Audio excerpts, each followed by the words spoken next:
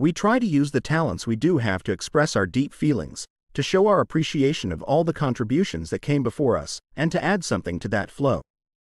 That's what's driven me.